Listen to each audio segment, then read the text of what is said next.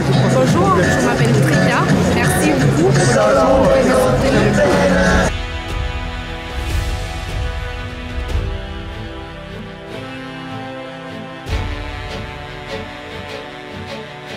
Aujourd'hui, Drita ne peut s'exprimer.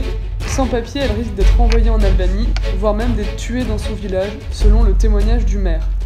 Le préfet de la Gironde, M. Didier Lallemand, estime que les circonstances ne permettent pas de conclure que Drita est particulièrement insérée dans la société française.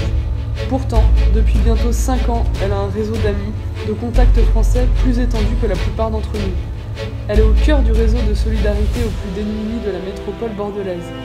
Elle travaille aux côtés de très nombreuses structures de Bordeaux qui viennent en aide aux personnes en difficulté afin de trouver des hébergements, réunir des dons, organiser des repas solidaires et effectuer des traductions.